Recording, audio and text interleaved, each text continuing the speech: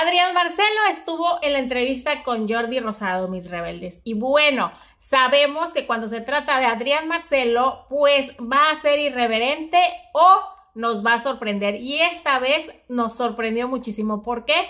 Porque él dijo, Laura Zapata me quería destruir como lo están escuchando. Así es, recordemos que ella estuvo en el programa de Es en Serio junto con Joaquín Muñoz, quienes los dos salieron muy ofendidos del programa, no querían saber más de ellos, pero asegura Adrián Marcelo que todo fue un show de ella, porque sabe del show business y sabe que el escándalo vende y que en el oído cuando se fue le dijo que lo quería mucho, pero que aprovechara este boom que le iba a venir después de este escándalo, después de ella haber abandonado las instalaciones de multimedios muy molesta por lo que le estaban preguntando.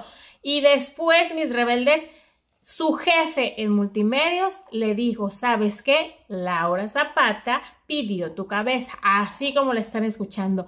Quería destruirlo, quería dejarlo sin trabajo.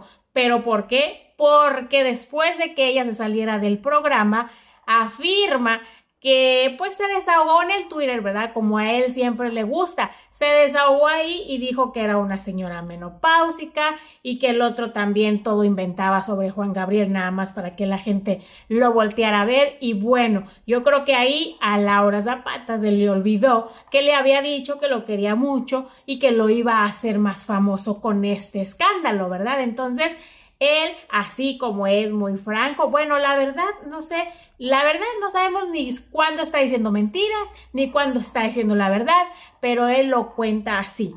Los ejecutivos de multimedios, así le dijeron, ella pidió que te despidiéramos, que no te dieran oportunidad en ninguna televisora, que te cerraran las puertas, que no te quería volver a ver y cosas así tan feas. Y yo me quedo pensando, imagínense mis rebeldes, en estos tiempos que todavía la gente se aproveche de sus influencias, ¿verdad?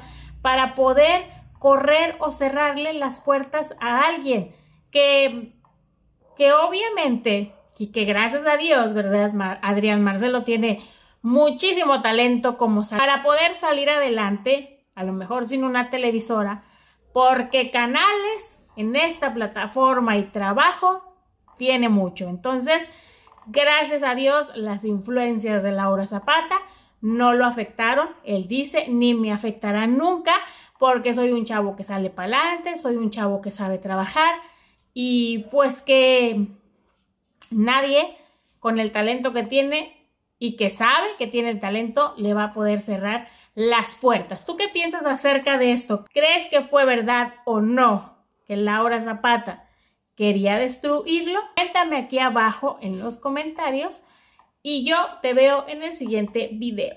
Chao.